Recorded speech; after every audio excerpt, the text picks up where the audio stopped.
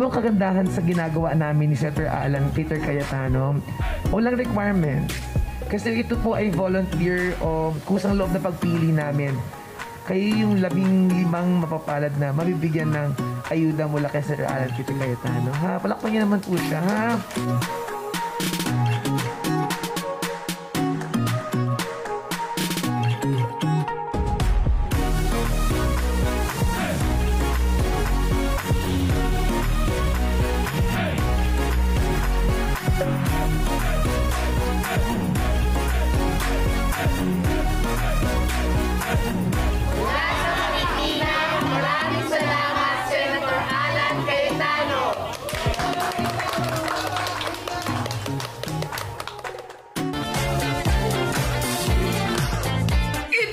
Na po natin ang happiness ngayong Martes dahil nandito na po ang unang batch ng makakakuha ng sari-saring pag-asa dagdag puhunan.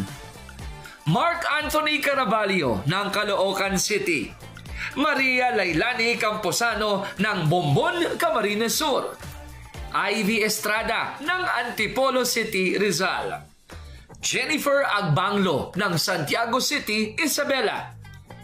May Sacramento Casas ng Bamban, Tarlac. Mary Jane Yulores Supenya ng Lipa City, Batangas. Donalyn Santos mula pa sa San Carlos City, Pangasinan. Yolanda Villanueva ng San Pablo City, Laguna. Frank Magdali ng Nara, Palawan. Sara Urquico ng Caloocan City. Evangeline Alcaraz ng Cebu City. Celia Lagos mula pa sa Anini, Antique. Jubilin Agripan ng Sagay City, Negros Occidental. Aprilin Arivas ng Pasig City, Iloilo. At Nelco Suico ng Cadiz City, Negros Occidental. At iyan po ang ating unang batch ng mga makakakuha ng sari-saring pag-asa dagdag puhunan. Manatili pong nakatutok at may pagkakataon din po kayong makatanggap ng sari-saring pag-asa. Mag-comment lamang po kayo ng selfie ninyo kasama ang inyong sari-sari store, pangalan, address at mobile number sa FB Live po ng Sari-Saring Pag-asa. At huwag kalimutang gamitin ang mga hashtags na hashtag Sari-Saring Pag-asa at hashtag Alan Sari-Sari Store Community. Ito po ang munti kong sari-sari store. Yung nakatanggap ako ng 3.5, naisip ko na bumili ako ng laruan at saka tsinelas kasi wala namang magtitinda dito ng mga tsinelas. Mabili naman eh kasi ano na ba eh, December na, na bibili na ng mga bata ng ano. Tapos minsan may maghahanap ng tsinelas. Dinatabi ko yung pa- ano benta nito para pag wala na naman akong stock, pinamili, ipamili ko na naman. Nilalabas ko to po, pag bukas ko na mga alas 6, lalabas ko na to. Tapos pag madilim na yung mga alas 7, alas 8, nililigpit ko na naman sa loob. Yung negosyo ko po, dati nagluluto po ako ng ulam. Eh, nung nag-pandemic po, bawal na po yung pagkain. Dati kasi ako nakatira sa Makati. Lumipat kami dito sa pinsan niya. Dito kami nakitira. Nag-standby muna kami ng ilang buwan kasi nga bawal pa po magtrabaho. Nakaisip kaming dalawa na umutang na lang kami ng linding para po makasimula po kami ng hanap buhay ng sari-sari store. Eh, wala, wala. wala makain. Pag di tayo mag, magsipag. Sipag lang.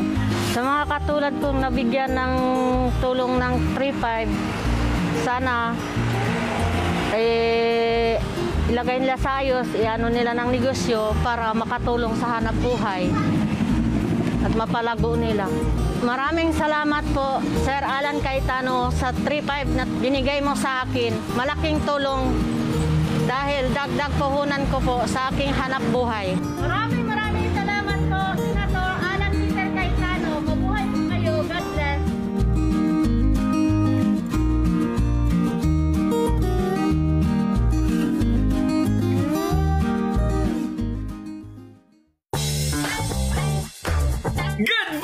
Tuesday continues dahil nandito na po ang second batch ng makakatanggap ng sari-saring pag-asa dagdag puhunan. Roxanne Jonanaw ng Sibulan, Negros Oriental. Justin Nokulan ng Sierra Bulyones, Bohol. Bernie Dayaw ng President Rojas, Capiz. Ria Leguis ng Bais City, Negros Oriental. Charis Surigao ng Cebu City. Bernadita Palban mula pa sa Davao City, Davao del Sur. Sanawea Kauna ng Marawi City, Lanao del Sur. Resly Ramos ng General Santos City, South Cotabato.